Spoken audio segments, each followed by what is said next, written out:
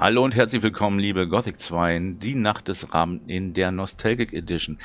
Diesmal habe ich ein Update zum Update zu zeigen. Normalerweise war jetzt hier die Folge 9 dran, aber das ist jetzt die Folge 7b. Äh, dazu muss ich kurz was sagen. Ich war der Meinung, dass man, wenn man das Update 1.2 aufspielt, man weiterspielen könne. Dem ist aber nicht so, wurde mir, hat man mir gesagt. Und ich müsste dann sozusagen das Spiel nochmal neu machen, damit auch wirklich alles funktioniert, alle Items zu sehen ist und die darauf ähm, folgenden Konsequenzen. Wenn man das nicht täte, dann hat man natürlich auch keine Items zu sehen, was wir ja auch in der Folge 7 gesehen haben, die da hieß, äh, nachher Neues mit Matt oder der neue Matt, richtig.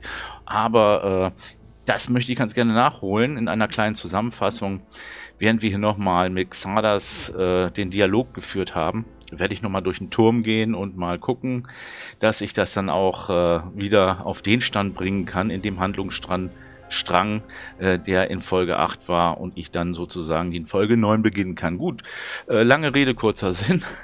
Ich fange jetzt mal an, also viel Spaß. Ich werde so schnell wie möglich aufbrechen. Gut. Und eines noch.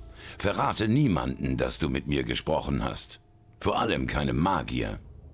Seit ich ins Exil gegangen bin, hält mich der Kreis des Feuers für tot. Und das ist doch gut so.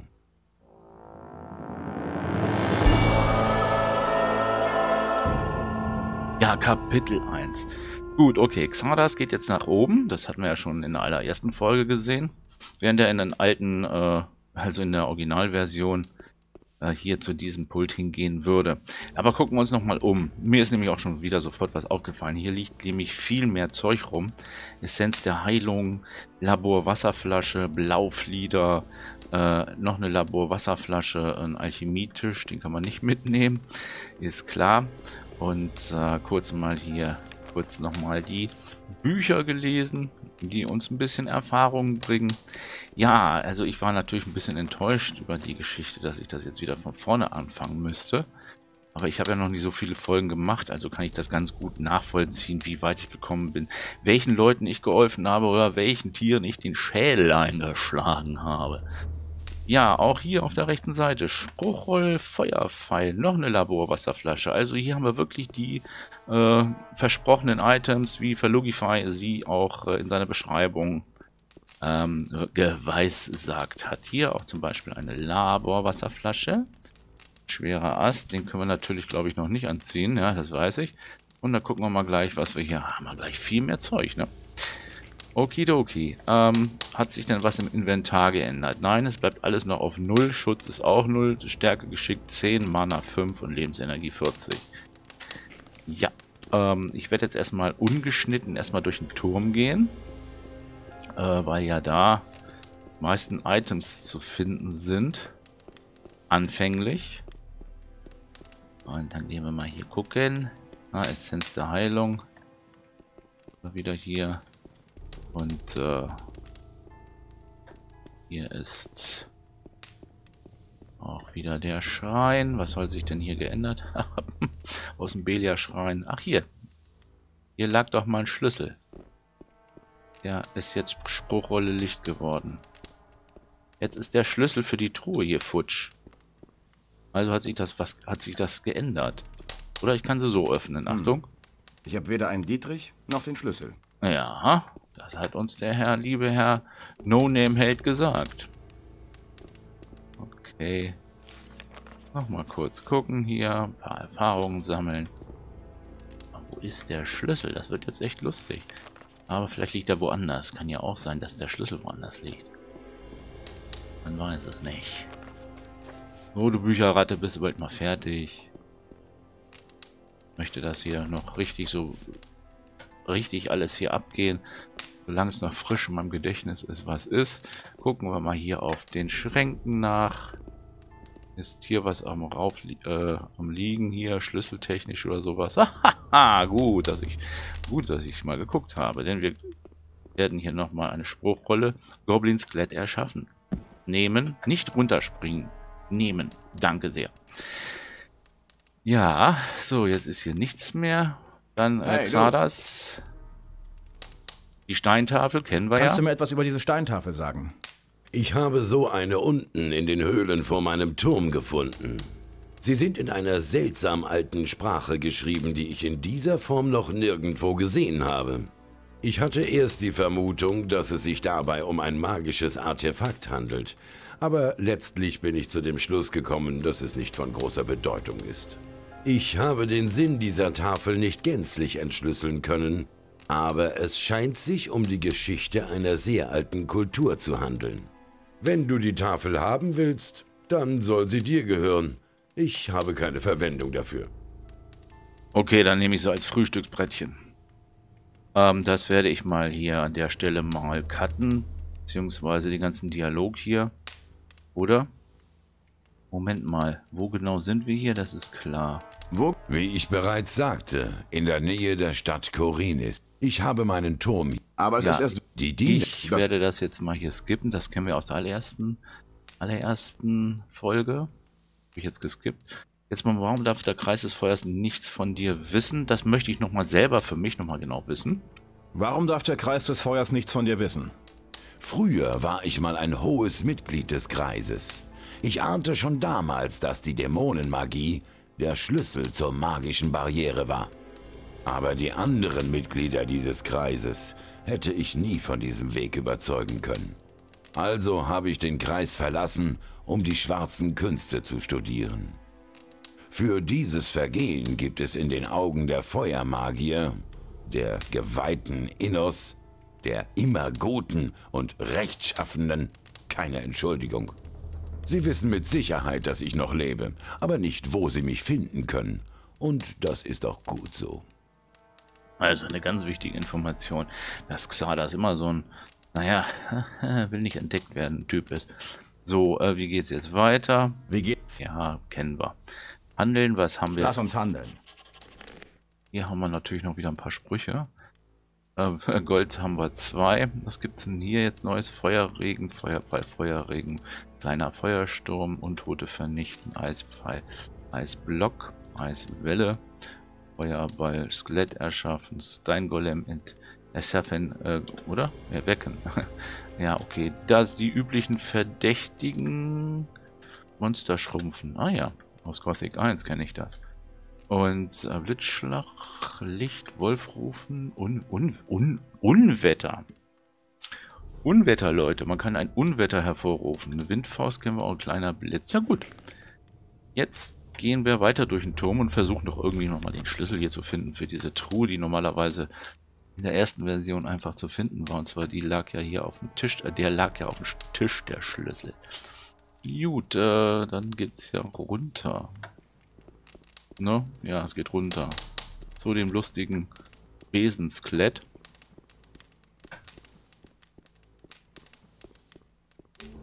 Äh, ja, hier waren wir. So, man hört schon das Fegen. Und dann gucken wir mal, ob dann da auch viele Items sind. So. Hier geht's raus. Jetzt haben wir noch ein Skelett. Hey Leute, er hat einen Kumpel gekriegt. Gucken, sagt er was? Wie sieht's aus? Nix. Noch nie mal Zähne geklapper als Geräusch. Schade. Hier ist noch der andere. Alles klar bei dir? Nö. okay. Äh, hier kann man eine Truhe plündern. So, gucken wir mal. Fackel, Gold, leichte Wunden heilen und Feuerball.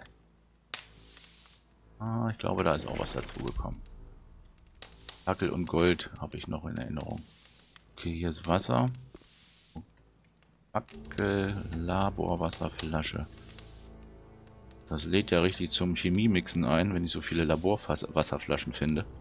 Finde ich jedenfalls. Ja, so. Liegt irgendwas oben drauf? Nichts. So, jetzt bin ich gespannt, ob auf diesen Tischen und Bänken oder hier irgendwo in irgendwelchen Ecken noch was liegen sollte. Kann sein, kann aber auch nicht sein. Ja, ich sehe Gold. Hüpfen wir mal hier zum Gold. Und hier zum Gold. Noch irgendwie was in der Nähe? Nope. Hier in der Lücke ist auch nichts drin. Oh, was ein Sprung. So, jetzt ist der Kochlöffel auch noch hier. Der Kessel ist zur Körpergestaltung da.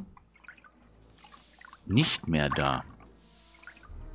Das ist ja interessant. Das hat sich jetzt auch geändert. Also, in der ersten Version 1.1 konnten wir hier unsere Statur ändern. Das ist jetzt nicht mehr möglich. Hm. Wie ich ja damals schon erwähnt habe, müsste man sich einen Spiegel kaufen bei einem Herrn Händler mit dem Namen L. L, L wie... Naja, das werdet ihr später noch sehen. Ja, wir machen mal hier ein paar Tonübungen. lustig. Ja, wie so ein Flipperball springt er hin, hin und her. Ja. Ja, hier ist nichts, nichts. Doch, hier ist der Schlüssel. Ah, da ist der Schlüssel. Ergo, kombiniere. A la Nick Knatterton gehen wir wieder hoch. Und äh, hoch. Gehen zur Truhe. Ne? Dann dürften wir nämlich auch die Truhe von Xardas öffnen, die sich nicht hier befindet. Ich habe mich wieder vertan. ja, ja, alter Mann, ist auch kein D-Zug hier. Oder habe ich mich doch vertan? Nein. Muss einen höher. Was ist der? Die Truhe auf der rechten Seite. Genau. Hier. So, bitte aufmachen. Es ist der passende Schlüssel und wir haben 5 Gold. Spruchrolle und sogar zwei Dietriche und einen Dolchinger. Das ist gut. So, dann werden wir uns auch ein paar Sachen mal gleich aneignen. Den Dolch, den können wir tragen, den Knüppel können wir nicht tragen. Ja, das ist doch schon mal eine gute Ausstattung. Und äh, ich würde mal sagen, jetzt können wir gleich runtergehen. Vor die Tür des Turmes. Vielleicht hat sich da auch noch was geändert. Ich sagte vor die Tür des Turmes, nicht zum Pentagramm.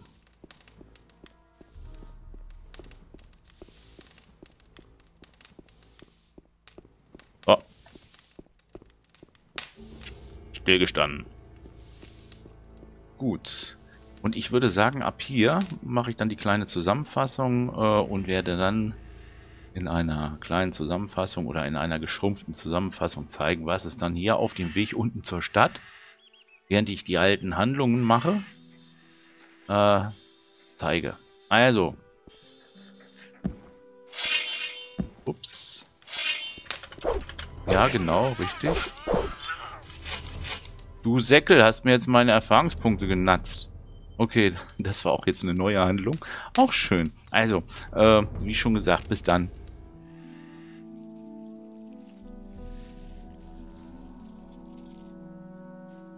Wie ihr sehen könnt, habe ich jetzt hier noch ein paar mehr Beeren gefunden und mehr Pilze, Butlerfleisch. Und da hinten gibt es auch wieder die alten Verwandten, wie zum Beispiel Scavenger oder noch mehr Scavenger. Seht ihr das? Hallo? 1, 2, 3. Scavenger. Da sind auch mehr geworden. Ha. Also gilt es, die gleich mal niederzumetzeln. Ja, und hier sind natürlich die alten Bekannten noch. Also, wie schon gesagt, ich werde euch immer so im Laufe meines Wiederher meiner Wiederherstellung zur alten Story immer mal kurz einblenden, was Neues gekommen ist oder was ich meine, was neu ist. Also bis dahin. Oh, da kommt schon einer und greift mich an. Kommt einer? Nee, kommt keiner. Drei Scavies. Übel. Ach, ich glaube, das zeige ich. Mal gucken, ob ich mit dem blöden Dolch hier... Ja, mit dem blöden Dolch kriege ich ihn. Scabby schon erledigt.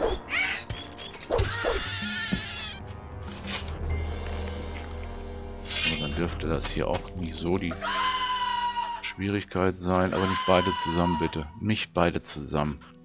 Ach, ich werde immer so schnell übermütig. Ah, schön. Und hier habe ich noch irgendwas gesehen. Wo ist denn eigentlich das komische Skelett hier an der Seite? Hier war doch was. Nichts zu holen. Da ist nichts zu holen. Das ist da mit dem Fass, genau richtig. Da, wo der Schaf ist. Wacholder. Dolch. Ach, Dolch. Ja, ich sollte eventuell... Ja, okay, zweimal links geschlagen und den dritten Scavenger komplett erledigt. Okay, bis später. So, jetzt wollte ich eigentlich skippen. Also eigentlich bis äh, runter zur Stadt. Jetzt ist mir aber aufgefallen, hier gibt es so viel Gezücht und Getier, die so nerven wie Exkrement an einem Schuh. Also wirklich. Okay, da hinten ist ja noch der Wolf, der junge Wolf. Mal gucken. Und eine blutende Fliege. Naja, gleich vielleicht. Und zwar eine kleine blutende Fliege, die entweder mich blutend macht oder ich sie kille, damit sie mich nicht weiter blutig macht. Da ist nichts zu. Okay, die kleine blutende Fliege ist jetzt erledigt. so, und den Wolf hatte ich ja im ersten Teil ja ganz anders ähm, erledigt gehabt, weil der mich nämlich richtig genervt hatte damals. So, hier haben wir vier Heilpflanzen und wir haben hier lecker Pilze. Gucken, das reicht schon aus. Mal gucken, ob ich den Wolf mit meinem kleinen Dolch hier erledigen kann. Denn weiter unten gibt es mich auch noch was. Habe ich gesehen, also. Na los, Wolf. Wolfgang.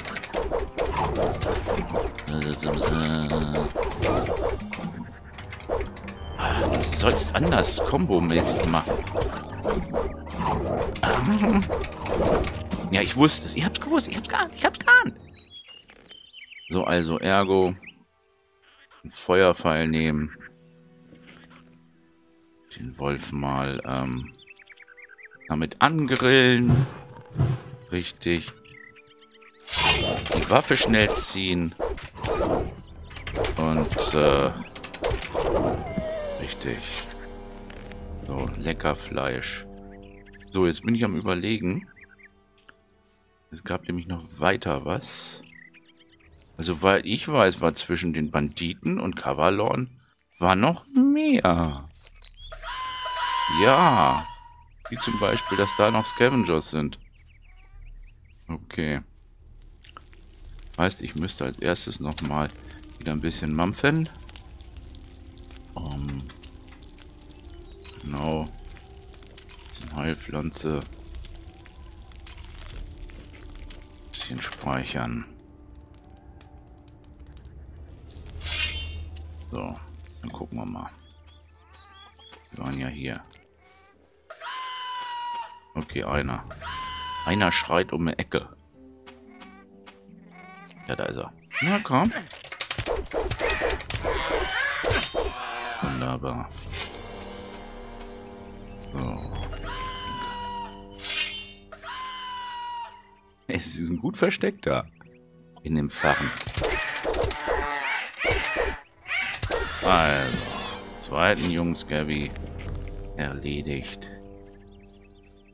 Und äh, gucken, ob es hier was gibt. Ach, ich habe übrigens jetzt auch einen Bogen angelegt. Dann habe ich ja da hinten, wo der eine Goblin am See ist, hinten in der Ecke gab es ja Bogen und Pfeile.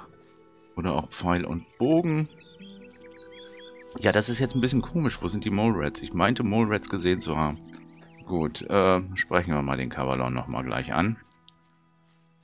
Und äh, machen wir die Banditen platt, aber den haben wir ja schon mal in einem Teil. Habe ich ja schon einmal in einem Teil gezeigt. Was ist passiert? Verdammt, ich weiß gar nicht, wo die sich alle versteckt halten. Du tötest einen und kurze Zeit später sind sie alle wieder da. Moment mal, ich kenne dich doch. Nachdem ich mit Cavalon hier die Banditen erledigt hatte, äh, im ersten Teil hatte ich es ja so gemacht, dass ich die Botschaft für Vatras hier geöffnet habe. Die werde ich jetzt mal zulassen. Das wollte ich nur so als Nebeninfo geben. Okay, jetzt gucken wir, was es hier alles so gibt. Und dann finden wir uns später vor der Stadt wieder oder in der Stadt. Ich muss mal gucken. Ja, und da hinten haben wir auch wieder Getier, gezücht. Kurz nachdem ich die Banditen aus der Höhle... Ah, shit. Kurz nachdem ich aus der Banditenhöhle gekommen bin, ich glaube, ich muss doch mit Pfeil und Bogen arbeiten. Und das ist richtig gut, dass die kleinen jungen Scavenger sozusagen mit einem Schuss erledigt werden können. Das ist klasse. Ja. Das waren zwei Scavies. Und hier gibt es noch einen Dunkelpilz. Und dann werde ich gleich den jungen Wolf und den Gobo erledigen. Ja, jetzt habt ihr das nicht gesehen. Ich habe noch weiter mit dem Pfeil und Bogen den jungen Goblin erlegen können. Und auch den jungen Wolf, ohne mit meinem Knüppel oder sonst irgendwelchen Nahkampfwaffen das Ganze zu erledigen. oh, ich habe jetzt eine längere Waffe. Und zwar den Nagelknüppel, den dürfte ich anlegen können. Ja, das geht. Dann habe ich auch eine längere Reichweite. Dann schauen wir mal, was uns noch auf, auf, nee, in Richtung Stadt erwartet. Mhm. Ja, immer mal schön gucken hier. Vielleicht übersehen wir hier noch was. An den neuen Items. Ja, hier so ein kleines Plateau.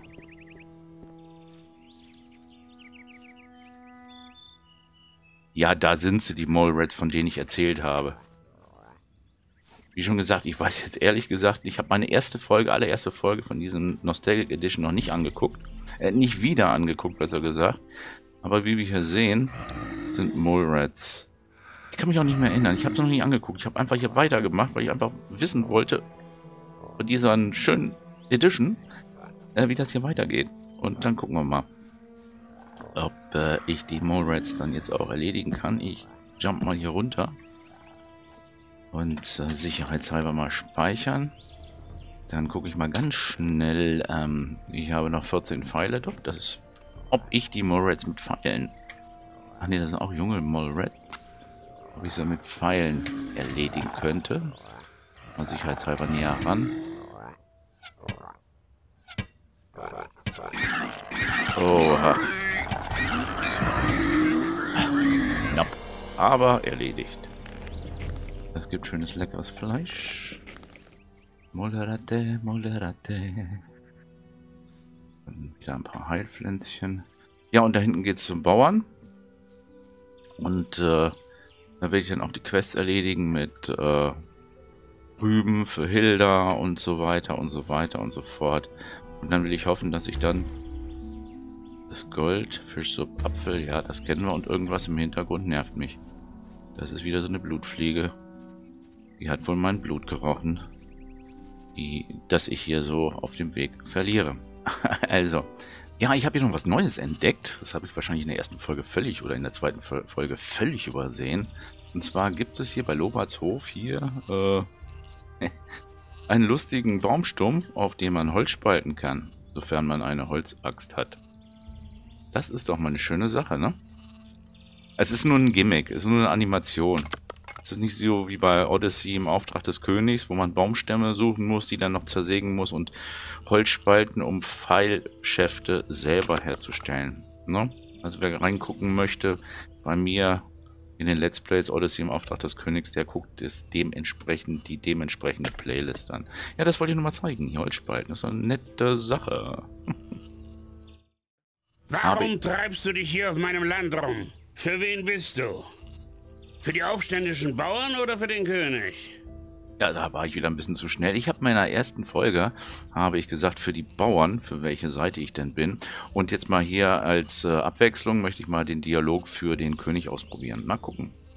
Für den König. Für den König. Das haben die Stadtwachen gesagt, als sie die Hälfte meiner Schafe geholt haben.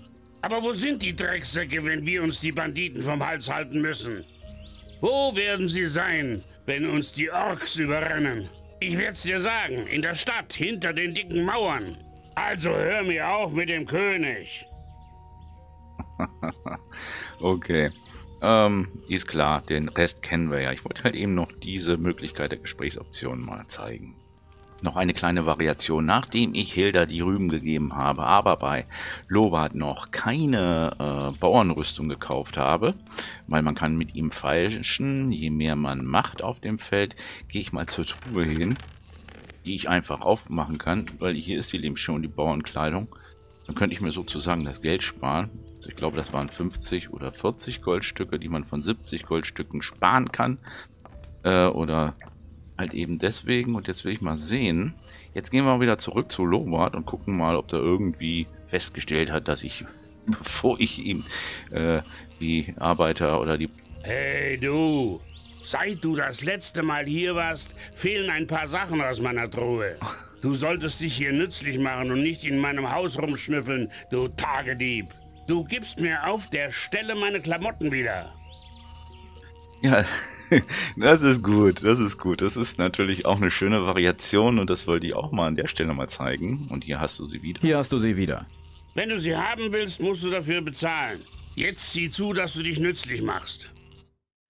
Ja, ein Besuch bei Lester sollten wir auch vorher getätigt haben, denn es gibt wieder mal so eine kleine Variation von mir. Äh, und zwar habe ich vergessen, du musst gerade das von dem Schatten berichten, nachdem ich im ersten Teil ähm, ja, mit Lester gesprochen habe, um die Konstantino die, die Kräuter zu zeigen. Auch eine Option, um die Stadt zu kommen, okay. Du musst Xardas von dem Schatten berichten. Es könnte wichtig sein. Genau. Du glaubst, es war keine Einbildung? Du meinst, da war wirklich ein... Drache, ja. Du steckst doch schon wieder mittendrin. Hab ich recht? Mittendrin würde ich nicht sagen. Noch nicht. Na schön, wenn es so wichtig ist, dann werde ich ihn aufsuchen. Aber nicht jetzt. Für den Augenblick werde ich mich ausruhen. Ich bin noch immer erschöpft von der Flucht aus der Strafkolonie. Ich denke, du hast noch viel vor. Wir sehen uns dann später bei Xardas. Und wir sehen uns gleich vor den Stadttoren, denn wir haben ja ähm, Kräuter für Konstantino. Diese Quest brauchen wir. Nämlich für einen ganz speziellen Kram. Oder besser gesagt, halt eben auch, um in die Stadt hineinzukommen. Also bis dann. Ja, nachdem ich noch ein paar junge Goblins und ein paar junge Wölfe erledigt habe, von da oben hier, ne? Äh, da stehe ich jetzt hier vor den Stadtwachen. Die geben mir die Option hineinzukommen. Halt! Was willst du schon wieder? Der Bauer schickt mich. So. Hast du diesmal wenigstens einen guten Grund herzukommen? Entweder kann ich sagen, ich muss zum Anführer der Paladine, ich habe hier Kräuter für Konstantino, dem Alchemisten, ich bin gekommen, Miliz anschließen zu lassen, ich habe ein paar Hirsch, Hirsch, Passierschein oder 100 Goldstücke. Das werde ich allerdings nicht machen. Ähm, ich darf mich erstmal im Voraus bedanken bei Cry Greg, der hat mir nämlich ein Easter Egg zugeschickt, welches ich eigentlich schon kenne. Allerdings äh, es ja die Option, irgendwo hinauf zu klettern, ja, an der Burgmauer. Habe ich auch pr probiert, das geht nur nicht. Wer die Velaya-Modifikation kennt, der weiß ganz genau, dass an der Stelle hier so ein Stacheldraht ist mit einem Schild Hau ab. Das müssen wir also anders machen. Und wie wir das machen, das zeige ich gleich in der nächsten Szene. Ja, nachdem ich durch den Burggraben gegangen bin und an der Mauer entlang, und somit auch sehr viele Heilkräuter und andere Dinge gefunden haben. Rostige Schwerter, Axt. Befinde ich mich jetzt hier an der anderen Seite äh, äh, des, der, der, der Korinesburg. Wir sind auch Stadtwachen, aber wir wollen ja mal gucken, ob wir da nicht irgendwie auf eine andere Art und Weise durchkommen. Und zwar habe ich auch mal äh, eine Version gesehen, in der wir ganz einfach mal irgendwo Richtung Leuchtturm hochlaufen. Ähm, das müssen wir ziemlich schnell machen. Ich hoffe, dass ich das... Aber bevor ich damit anfange... Stopp. Nein, du noch nicht. Bevor ich damit anfange, werde ich auf alle Fälle mal speichern.